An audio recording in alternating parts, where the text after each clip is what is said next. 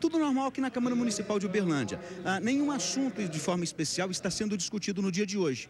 Voltou a ser discussão acalourada, sim, aquela questão da contratação de táxi aéreo por parte do prefeito municipal de Uberlândia para suas viagens a Belo Horizonte, a Brasília e também em busca de novos investimentos aqui para o município. Situação e oposição batendo boca na manhã de hoje aqui na Câmara Municipal de Uberlândia. Fora isso, que nos chamou a atenção, algo diferente aqui na Câmara Municipal, é que desde o momento que nossa reportagem chegou aqui, constava no painel eletrônico a presença de vereadores como William Alvorada e também da Jerônima Carlesco. Mas em contato com outra equipe de reportagem da TV Vitoriosa no Center Convention de Uberlândia, esses vereadores estavam lá e não aqui. Se assinaram um ponto, assinaram um ponto de presença na Câmara, mas não estavam na Câmara.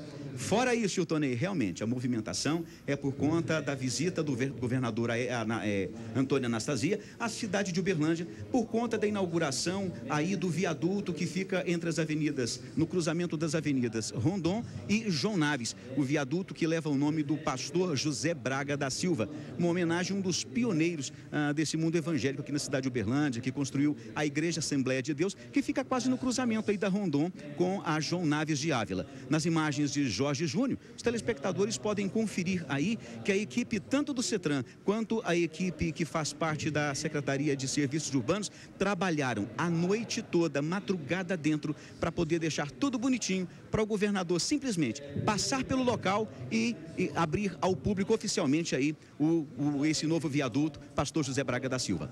E o Tonei e Tânia. Nós tivemos informação, né, Tonei, que a imprensa não vai acompanhar essa passagem. Será rápida, segundo as assessorias do governador ali no trecho? Blindagem total, Tânia, é verdade. Vai, o governador vai passar com a comitiva oficial, incluindo vereadores e o Poder Executivo do município, e logo em seguida os demais veículos poderão usufruir deste novo benefício que liga aí a, a extremidades da cidade de Uberlândia e vai facilitar muito o trânsito ali naquele setor. Pimenta, nós teremos também uma coletiva né, com o governador é, Anastasia aqui em Uberlândia, juntamente com o prefeito Odelmo Leão. O que a gente espera é que as perguntas certas sejam feitas, né, Pimenta? Que pelo menos permitam que a imprensa tenha acesso ao governador Anastasia e que não façam como o que das últimas vezes. Faça uma, duas perguntas e logo em seguida o governador vira as costas e não responde à sociedade aquilo que é obrigação dele.